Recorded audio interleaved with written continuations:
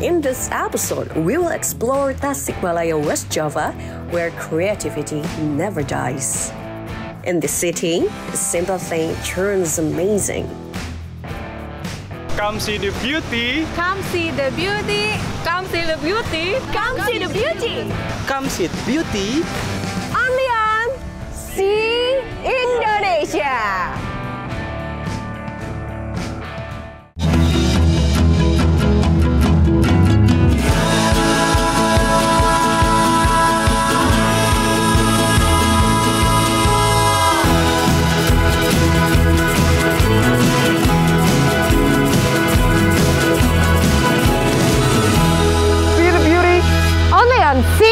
Indonesia.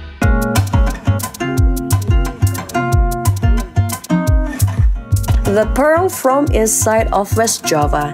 That is the perfect nickname of a city that we will explore this time. Tasikmalaya, West Java.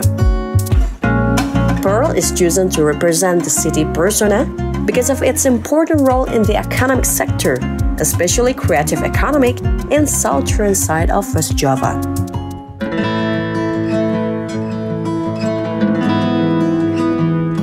This town entices visitors to see the city in a simple yet beautiful way, such as taking a silent tour. This is Mr. Hasbi, our deaf guide today. He's excited to share more about the city using the hand sign language.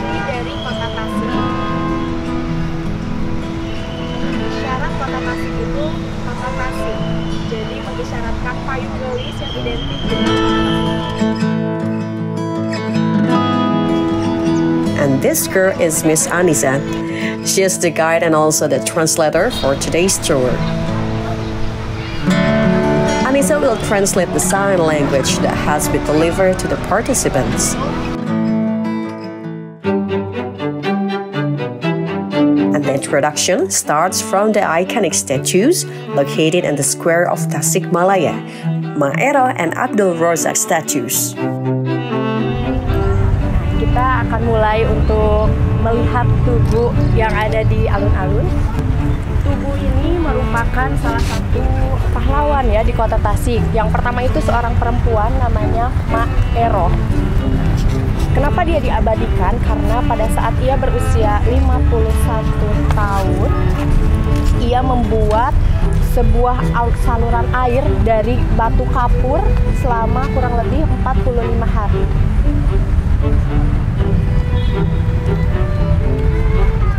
Sedangkan untuk yang laki-lakinya itu yaitu Abdul Rojak diceraikan oleh seorang istrinya. Kenapa? Karena ia bersikukuh untuk membuat terowongan saluran air juga yang akan disalurkan ke sawah-sawah warga dan dia dibantu oleh 16 orang untuk mengerjakan hal tersebut. They were both farmers who turned a limitation into an unlimited resource, allowing water to flow into fields and save farmers from drought. Because of their efforts, Maero and Abdul Razak received an award in preserving the environment in Tasikmalaya. Salantor is a collaboration of Metamorphosa Indonesia Tasikmalaya community with Katara Travel Agent, running since June 2022. Anisa said that the main purpose of the silent tour is to give the opportunity for deaf friends to get involved in the society and become financially independent. They hope that this tour can also turn Tasikmalaya City into a disability-friendly city.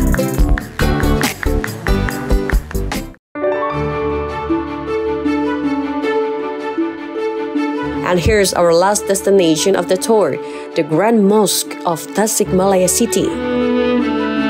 We gather in the yard of the mosque to practice the sign language. Starts from the alphabet and self-introduction. I P Q R Y Z. Yeay. potong. Assalamualaikum. Assalamualaikum. Nah, aku jawab Waalaikumsalam.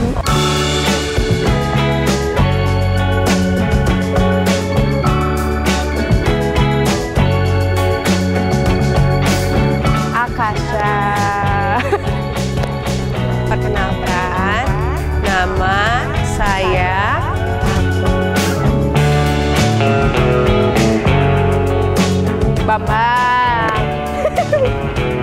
facial expression is also important when we are communicating with the deaf friends. The expression helps them understand the message you deliver. Fanny. Siti. Hobi Ada yang mau ditanyain dulu nggak bahasa Ya, isyarat? mau ditanyain. Apa? Tanyain dulu Hasbi. Tensatan masak Kalau kaki kue? Kue? Ada bikin kue, hobi bikin kue. Oh. Oh, hobi buat Kalau nonton film, The community transforms a simple concept of a city tour into an enjoyable and meaningful tour that me and all participants will never forget.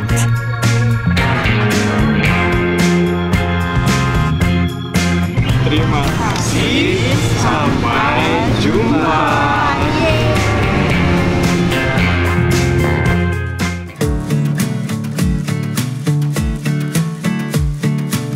Talking about economic creativity, Tasikmalaya City is famous for its handicraft.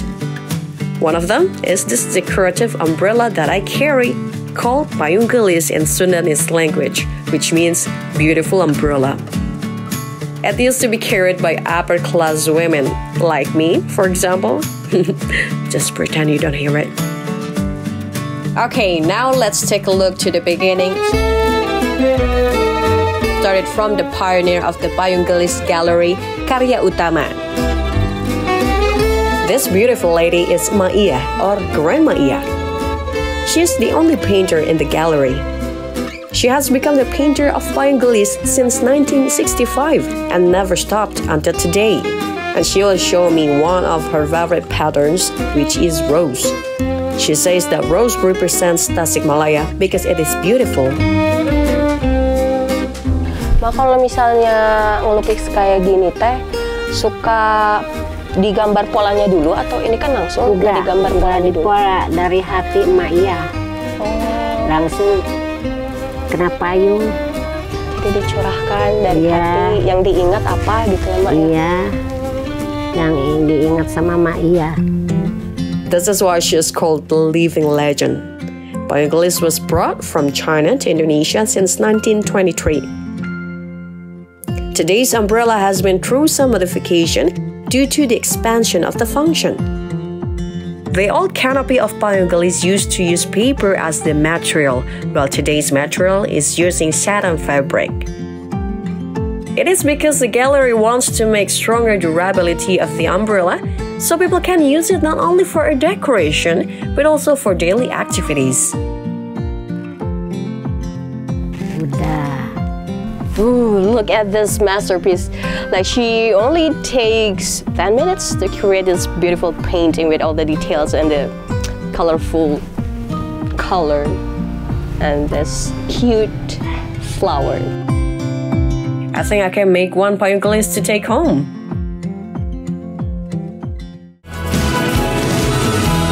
See the Beauty only on See Indonesia.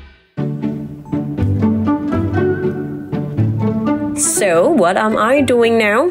I am creating my own payung gelis. With all the sweat dripping, I am really working on pouring my imaginative rose to the canopy. And it all paid off. Maya is finally having a rifle.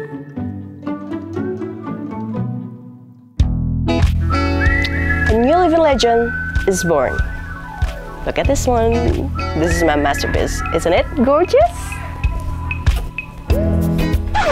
Okay, I'm not good at lying. Let's see the reality.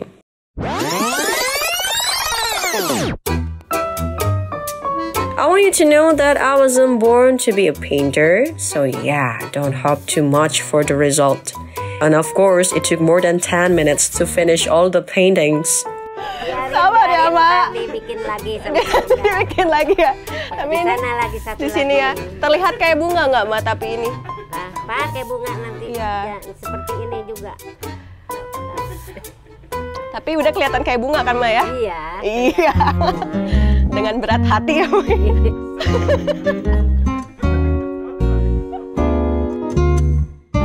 So this is exactly what happens. Maya willingly corrects my paintings, and that's how I got my beautiful payung gelis. She's so nice. Looks like an angel, but I don't know why. I feel so nervous being supervised by the living legend. She said that my painting is beautiful. A beautiful eye.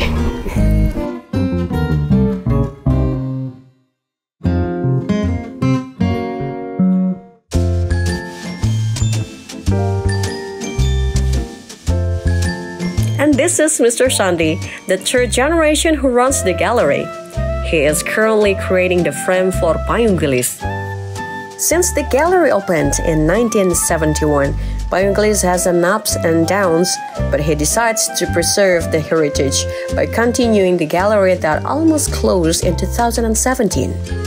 Therefore, introducing the culture from the early stage to our next generation is very important to nurture the culture. Harapan saya budaya harus dilestarikan itu kan untuk untuk anak-anak supaya ada mulok lah gitu kan di sekolah-sekolah khususnya kota Tasik dan umumnya mungkin bisa merambah ke kota-kota yang lain gitu. Jadi supaya kota lain juga tahu bahwa ada kebudayaan yang harus dijaga di kota Tasik ini seperti payung gelis. Karya Utama is trying to keep up with the trend by making customized payung gelis from different materials. With a touch of creativity, Sunny hopes payung gelis will get more attention of people without losing its charm.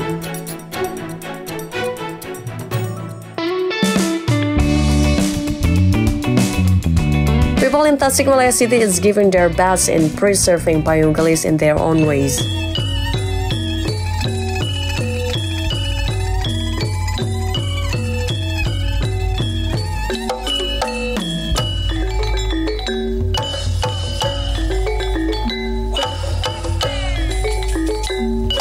This time, Mayang Binangkit Dance Studio maintains it through dancing.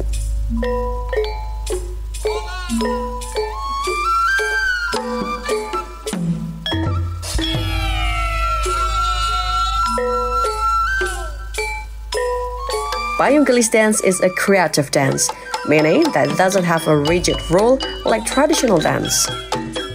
The moves can be anything, depend on the creator's creativity. So that is why you will find different payung gelis moving from one dance studio to another. And this payung gelis dance version of Sanggar Binangkit is inspired by traditional dance, Ketuk Tilu dance, and martial art movement Pencak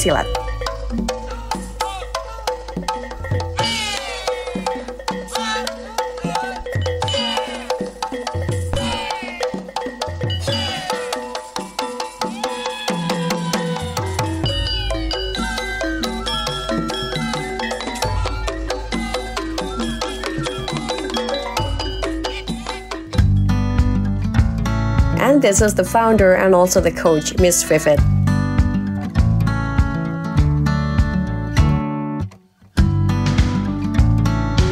I decided to join the squad and she is happy to teach me the moves. Because I'm not a dancer, it will take forever to learn all the moves. So she decided to teach me the easiest part. Couldn't agree more.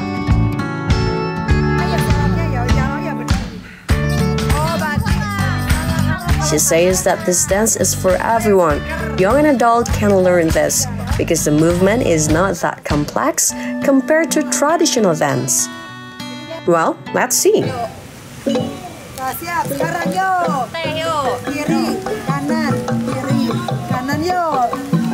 She says that the key is to relax, get your body moving to the music's rhythm.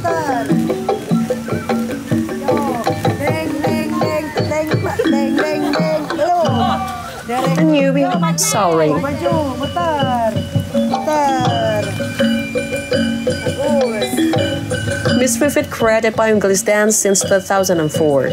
Because it's more fun, people tend to choose creative dancing rather than traditional one.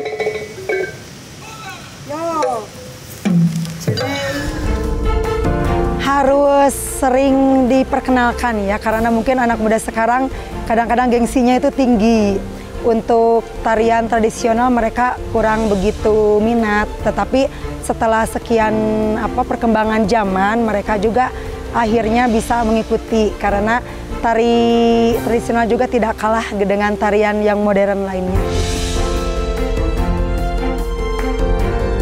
Slow but sure, both creative and traditional dance are heading to the same mission to get the culture closer to people. So people are aware of their roots, even better, actively preserve it.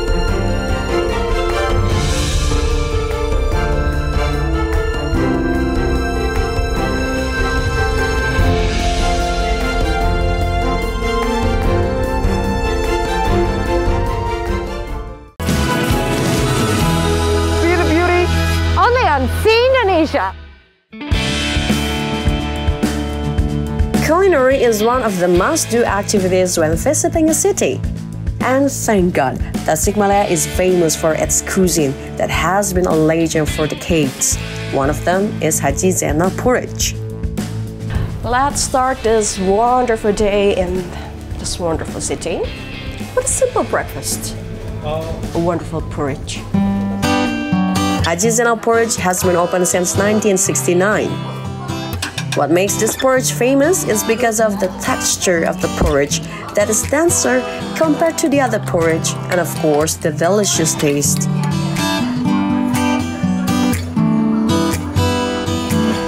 The price range from 25 until 30,000 rupees with full and half portion choices.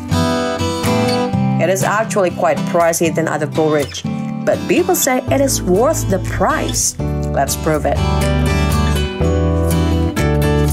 Well, so I heard a rumor that they are really famous because of the premium toppings and also the big portion. So I decided to order the half portion of the porridge. And this is what I got. It's just more than enough for me. Let's taste it. The porridge already tastes savory without putting anything to the plate. The piece of chocolate and shredded chicken as the topping is larger than the other porridge stalls.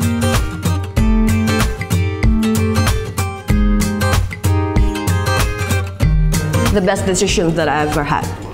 No wonder why people come in here. It's really good. Delicioso. I think I'm gonna be full until the next dinner.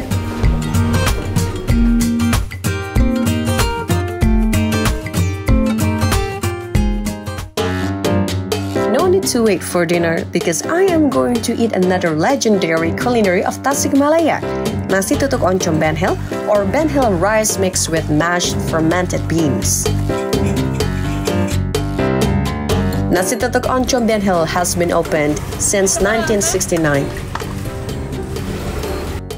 I'll just look around and see it's, it's almost full. Well, I think I get why people are coming here because um, the tutuk oncom itself it's uh, savory and then you mix it by the sambal that has a sweetness and a spiciness in it. So it has a good combination in your tongue when you taste it. A good choice for breakfast.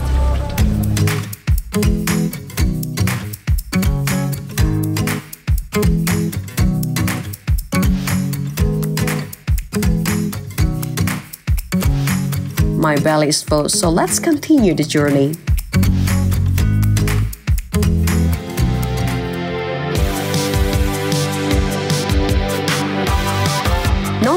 Creative city, Tasikmalaya is also well known as a transit city. Tasikmalaya train connects West and East Java, which passes every day in this rail track. And below the rail track, there is a bridge named Cirahong Bridge that has aged more than 100 years. This bridge was built in Dutch colonial era. And the bridge is more than just a connection. It's a cultural heritage building which connects two regions, Tasikmalaya and Ciamis. Without this bridge, the economic activities will be disrupted. I decided to pass the bridge, and it's quite scary because of the old structure. That is why, since 2021, four wheel vehicles cannot pass this bridge.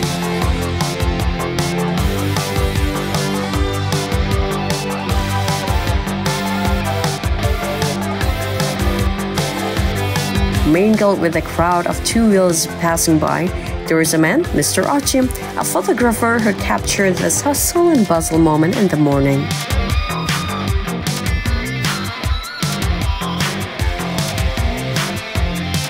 Along with his friend, Mr. Irham, they come from the same photographic community named Colom Imaginaire.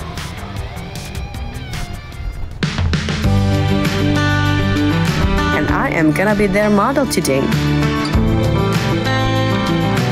Gaya manis boleh gaya manis. Satu dua. Oke good. Satu dua. I tried to imagine myself as a Victoria's Secret model, but ended up like a mannequin.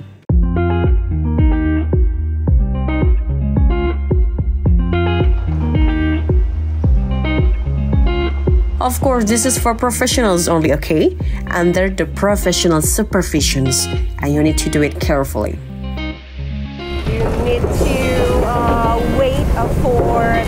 The motorcycle to just pass by, and then when there's like uh, this empty moment, then you try to do a photo shoot again.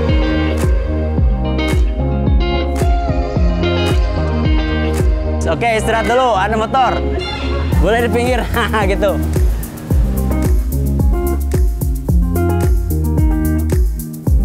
Cool. You need to see the result. Come here.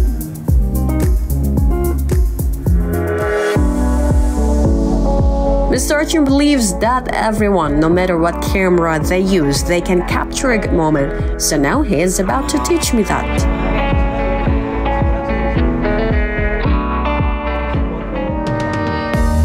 Ini ya. Uh.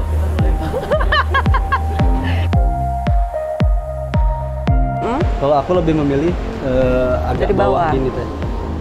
Karena lebih Oh, berhasil iya, iya, secara betul, betul. eh, apalagi bisa dibalik gini teh. Kalau misalnya Gini ya? betul, jadi perspektifnya bisa lebih lebar lagi, bisa lebih luas lagi.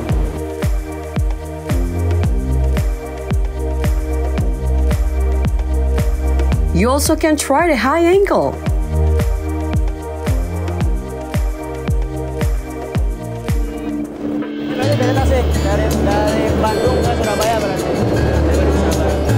Touch of creativity, Ochim and his friends from photography community successfully captured Tasikmalaya in an appealing way. So people are interested to visit the city. Like this Cirahong Bridge, for example, it is not only a photo object, but has a personal history for Ochim.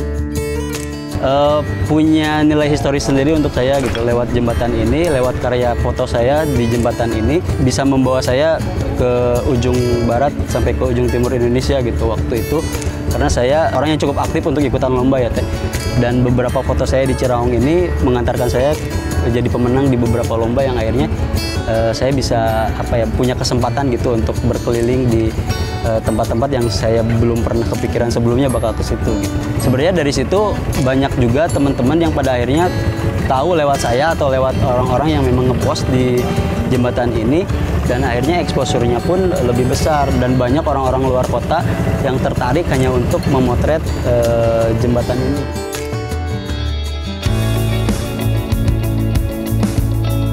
People say limitation is a bird that will never grow.